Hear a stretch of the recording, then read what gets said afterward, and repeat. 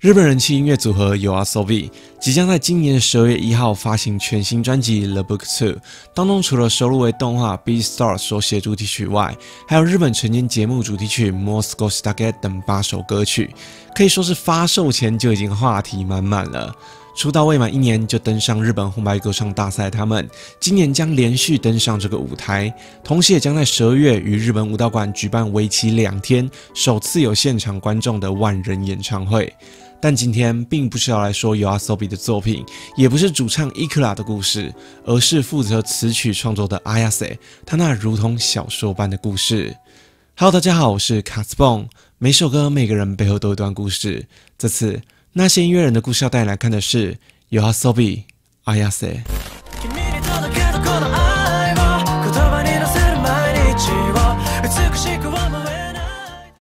一九九四年四月四号。出生于日本山口县的 Ayase，从小在音乐环境中长大。因为祖母的职业是钢琴老师，所以阿亚塞接触的第一种乐器就是钢琴。在采访中，他提到：“我从三四岁时开始，就常常跟着祖母一起弹琴，感受音乐带来的快乐。”于是升上小学后阿亚塞开始想要认真学习钢琴，就到了附近的音乐教室上课。同时，他也参加了不同的国际钢琴大赛。直到国中时，他就这样一直专注在钢琴上，也归功于小时候的这段钢琴训练，让他日后在写曲子的时候如鱼得水，尤其是对于音感的部分非常敏锐。而提到 Ayase 小学弹钢琴这件事，就不得不提到前阵子才刚落幕，在肖邦的故乡波兰，每五年举办一次的肖邦国际钢琴比赛中，来自日本的小林爱实夺下了2021年十八届的第四名。这个消息除了让许多日本人与有荣焉之外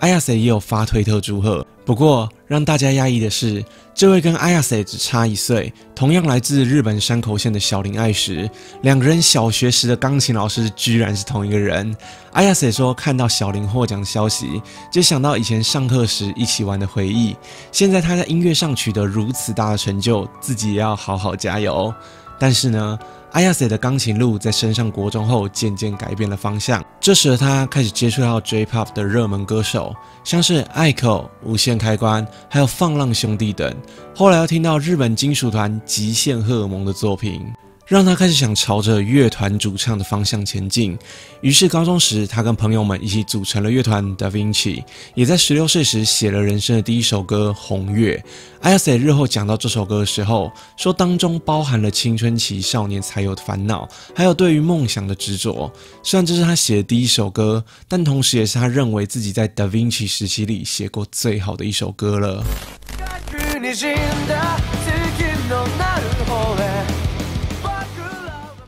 于是，开始玩乐团的 Ayase，一个礼拜内会举办三到四场的演出。也因为这样，让他无心于课业，鼓起勇气跟父母提出了“我要认真玩音乐了，所以不想去学校”的想法。最初，父母当然是强烈反对，认为学生就应该好好读书。但两人看到才十六岁的 Ayase 非常认真的在经营乐团，渐渐的被他的态度说服，开始转为理解支持自己儿子的做法，甚至会去看他的演出。直到现在，每当 YOASOBI 的新作品推出时，登上哪家音乐排行榜第一名，播放量破多少万，反而是爸爸妈妈会先传讯息给阿亚瑟恭喜他。阿亚瑟也说自己能在这样的环境下长大，专心做音乐，真的感到非常幸福。二零一六年，Da Vinci 的成员们一起离乡背井前往东京发展。这段时间内，乐团办了巡回演出，发了单曲、EP、迷你专辑，但最终取得成绩并不理想。而乐团成员们的收入来源也必须依靠打工才能存活下去。Ayase 在东京租的房子，甚至是跟自己妹妹一起合租的套房，睡觉的地方能够直接看到厨房。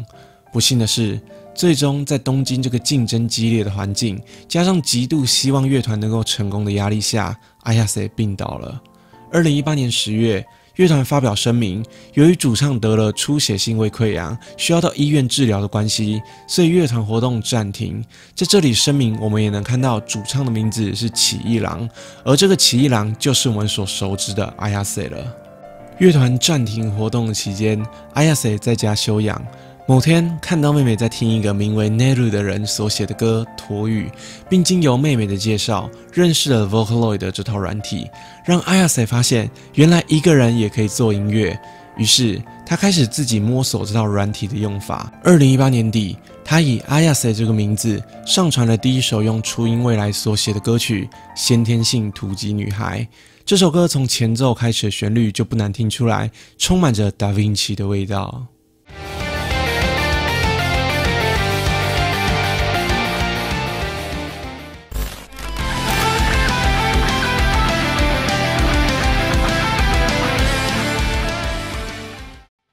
到了二零一九年初，乐团虽然在推特上表示很快就会再跟歌迷们见面，但却再也没有了消息。可能是因为现实，可能是因为金钱压力，可能是发现梦想并不能喂饱自己。Da Vinci 的成员们开始忙于别的工作，并在二零二零年七月正式宣布解散。根据 Ayase 在采访中提到，现在 Da Vinci 推特账号头贴上写着的 City 是乐团解散前录制的最后一首没有公诸于世的作品。或许 City 写着是对于东京这个大城市带给他们希望的，同时也压他们喘不过气。不过这件事也只有团员们才知道了。Ayase 日后也有写了一首名为《幽灵东京》的歌曲，就是在描述来东京追音乐梦的这段过程。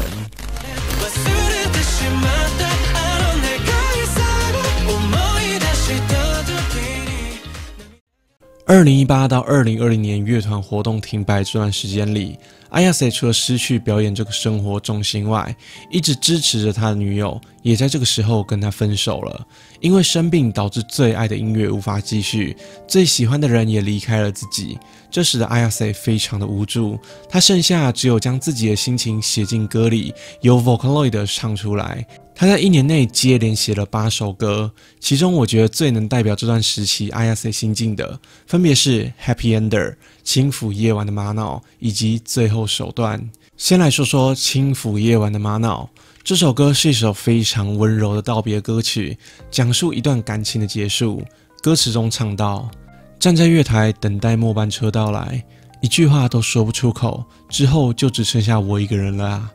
没有相遇就好了什么的，我可没有这样想过哦。所以笑一笑，笑一笑吧。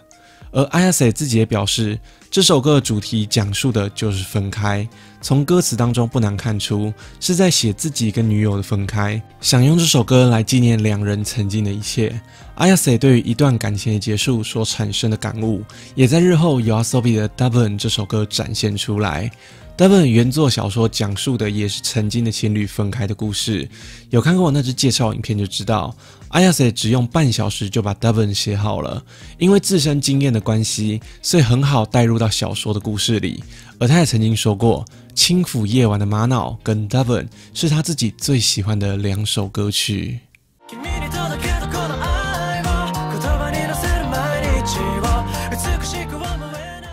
接下来要讲关于 Happy Ender 跟最后手段的故事。在 Yoasobi 那支介绍影片里，我曾经提到过，这两首歌是同一组的曲子。为什么呢？因为 Happy Ender 讲述的是能在绝望与后悔中不放弃、继续向前的故事，而最后手段则是将绝望与后悔视为理所当然、全盘放弃的故事。对这个时期的 IAS 来说，生活不是希望就是绝望。这两首歌就是 Ayase 在这两者之间掷硬币，看看到底自己的音乐路究竟还有没有一丝光芒。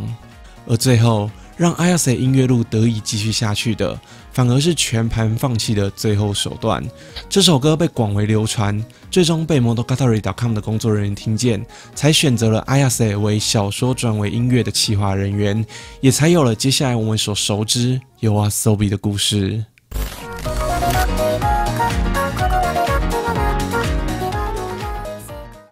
而 Ayase 直到 Devon 之前，他的所有作品都是在一台两千零九年生产的 MacBook 上完成的。直到现在，说自己对电脑不太熟的他，仍然对软体操控不太行。之前他曾经跟 Neru 聊天，Neru 问他：“你现在用的录音界面是哪一台啊？”Ayase 直接问他：“录音界面是什么东西啊？”这个回答让 Neru 惊讶：“哎，你这家伙不得了哎，到底是怎么样写出这些歌的？”而后内鲁把自己之前用的录音界面寄给阿亚塞送他，并手把手教他怎么使用。阿亚塞之前也借由自己的写歌方法，告诉所有新手音乐人，并不是一定要好的设备才能写歌，就算只有一台笔电，那也就够了。阿亚塞当初在收到 Monogatari.com 的邀请打造 YOASOBI 时，这个组合第一首出道曲就是《Yoru ni Kakeru》。众所皆知，《Yoru ni Kakeru》是一首讲述关于自杀的歌曲。在写这首歌的时候，阿亚塞觉得小说中的故事和自己最后手段中的心境很像，于是花了三个月时间来写这首歌中的所有音符，都是他用笔电一个一个打出来的。有人可能会问他为什么不买 keyboard 来用？阿亚塞确实有买，但他说他还是习惯用电脑键盘慢慢打。整首歌只有吉他的部分是找朋友帮忙，在高田马场的卡拉 OK 内租了一间包厢录的，所以最后 Yoru ni Kakeru 的总制作费为包厢的三千日元，大约为七百七十块台币，打造出这首在 YouTube 上累积二点四亿观看、串流播放量写下日本公信榜首次突破五亿播放纪录的 Yoru ni Kakeru。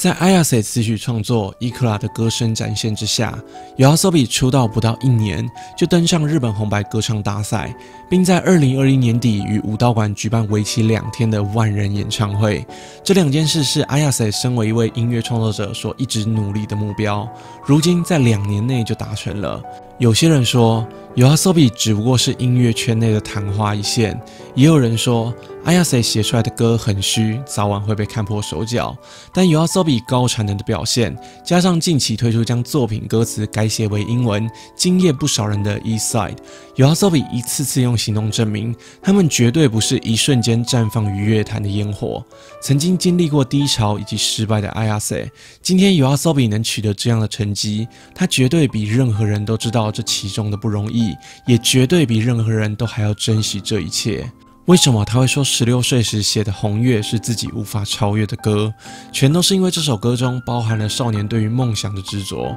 而 Ayase 自己一定最清楚，最强的并不是达成梦想的人，而是那些不放弃梦想、持续追逐梦想的人，他们才是最坚不可摧的。